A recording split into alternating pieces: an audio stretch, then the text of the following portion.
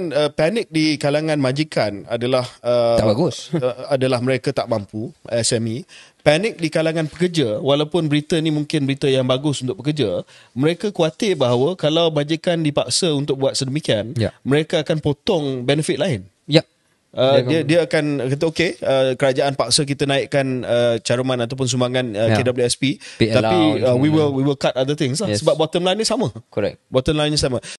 Assalamualaikum warahmatullahi wabarakatuh dan selamat uh, kembali uh, bersama dengan saya Khairi Jamaluddin. Saya nak ucapkan terima kasih kepada semua. Please hit the subscribe button dan jangan lupa untuk subscribe dan give us a like.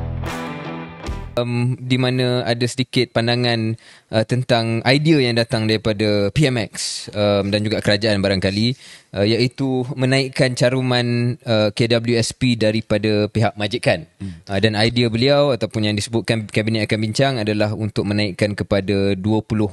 Okey. Uh, biasanya saya tidak So, uh, sorry, sorry. Se- Sebelum cara masuk ke dalam tu, boleh boleh tak saya kaitkan topik ni dengan topik yang kita bincang sebelum ni? Hmm.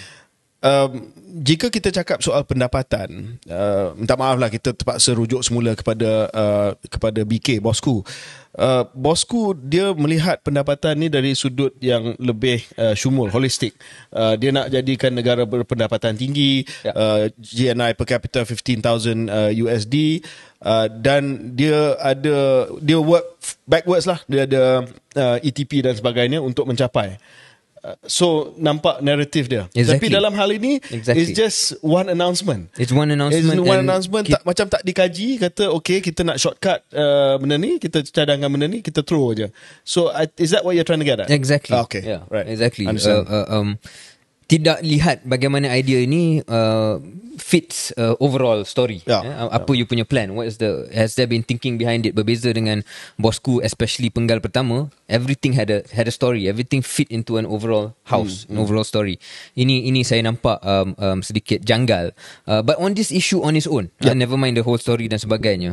Uh, biasanya saya tak berapa nak suka dengan dengan kenyataan-kenyataan uh, Persekutuan Majikan-Majikan Malaysia uh, um, MEF ni. MEF ni biasa bila bercakap tentang Kapitalis, kapitalis. Ah, kapitalis dan bila kita nak naikkan gaji pekerja dia akan dialah nombor satu akan reject Ya. ya. uh, dan dilihat betul-betul memperjuangkan tak apalah mungkin tu kerja dia untuk memperjuangkan pihak majikan uh, uh, and and basically uh, capital owners right uh, but dalam kes ini saya tak dapat tidak uh, bersimpati dan sebenarnya bersetuju um, dengan dengan uh, kekhawatiran yang dilahirkan oleh MEF iaitu akan memberi impak yang negatif kalau kita tiba-tiba naikkan uh, caruman KWSP oleh majikan ni ke 20% khususnya kesan SME. kepada SME Ya. uh, PMKS uh, kita kita ingat KJ waktu pre-COVID ada beberapa data saya nak share cepat dengan dengan keluar sekejap ni. Uh, pre-COVID uh, sewaktu uh, lockdown uh, keluar berita bahawa lebih separuh daripada PMKS tidak ada cash reserve beyond 2 bulan. Hmm. Maknanya kalau tak ada business, tak ada revenue untuk 2 bulan habis tu uh, lepas tu bungkus habis. Hmm. Uh, means what? Means they don't have the the liquidity, they don't have the cash flow uh, dan cash reserves untuk menampung a sudden hike in in in cost. Uh, that is the reality unless they find ways to uh, pass through. Ya, um, sebab itu bila kita naikkan gaji minimum dan sebagainya, kita kena cari level apa yang yang yang sesuai. Kalau Yep. too much, too Yep. fast, will be problematic. Tak buat langsung pun terlalu pro capitalist. So there's always a fine balance kan. Saya nak tanya uh, uh, kalau boleh ditunjukkan oleh kabinet oleh kerajaan, where did this figure of 20% come from? Takkan petik dari langit aja. Mesti dah ada study kan? Yeah. So I hope there's been a study to explain why 20% is the right figure. And Uh, and uh, macam Syarif sebutkan tadi, sama ada sebahagian besar daripada PKS yang Boleh. merupakan uh, uh, majority uh, business dalam negara kita mampu untuk meningkatkan sumbangan uh, majikan kepada 20%. Yes. That's that's the issue. That's the issue. Uh, Ataupun adakah kerajaan dah buat kajian dan dah ada uh, staggered plan macam PKS dia naik sampai ke 15 contohlah Ya. ya dan uh, syarikat-syarikat yang paid up dia lebih daripada uh, sekian threshold uh, ataupun nilai ambang dia lebih sampai 20%. Yes. Uh, cuma bila kita dapat just Just a headline macam tu. just headline macam story. tu it's not helpful. It's not bagi helpful. saya lah. Dan Dan it's almost lazy. I agree, I agree. Uh, uh, uh, and it should have kalau tidak ada kajian yang dah dibuat sebab bila saya baca balik pun dia kata dia akan mengkaji. So kalau nak buat kajian dulu belum buat lagi, better jangan sebut the figure. Ya. Maybe you just say so, kerajaan tengah menimbangkan untuk meningkatkan uh, sumbangan uh, pihak majikan. Yep. But once you put a figure there, it causes uh, I think it causes a small panic. Yeah, and then uh, panic di kalangan majikan adalah uh, Tak bagus. uh, adalah mereka tak mampu SME. Panic di kalangan pekerja, walaupun berita ni mungkin berita yang bagus untuk pekerja, mereka khawatir bahawa kalau majikan dipaksa untuk buat sedemikian, Ya. mereka akan potong benefit lain. Uh, dia dia akan kata okey uh, kerajaan paksa kita naikkan uh, caruman ataupun sumbangan uh, Ya. KWSP Pay tapi uh, we semua. will we will cut other things lah Yes. sebab bottom line ni sama Correct. Bottom line sama. So saya cuma nak balik kepada uh, sebelum Syaril sentuh uh, berkenaan dengan policy ini juga uh, dan juga mungkin how lazy this was and the fact that mungkin kita perlu ada satu holistic view tentang isu pendapatan.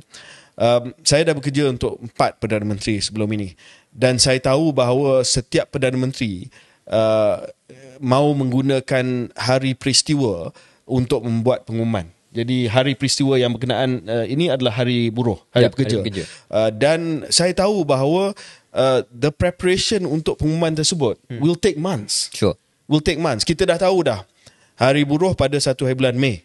The preparation will start even in February, even before that. Dan kita akan panggil lah, kita akan panggil uh, apa uh, perbendaharaan MOF, kita akan panggil Bank Negara, kita akan panggil uh, MITI dan sebagainya, uh, uh, ni Kementerian Sumber Manusia untuk memikirkan apa yang Perdana Menteri boleh announce. Ya. Dan bukannya setakat ayat satu ayat ataupun uh, uh, just a, uh, just a throwaway announcement macam tu. Ya. Very dangerous. Sebab ini Perdana Menteri. Betul. So bila dia announce dia akan ada comms plan lepas tu. Dia akan ada comms plan. Maknanya pakar-pakar akan keluar kata ini adalah bagus ni ca- cara pelaksanaan. But Hmm. Doesn't in this look like it. case Yeah.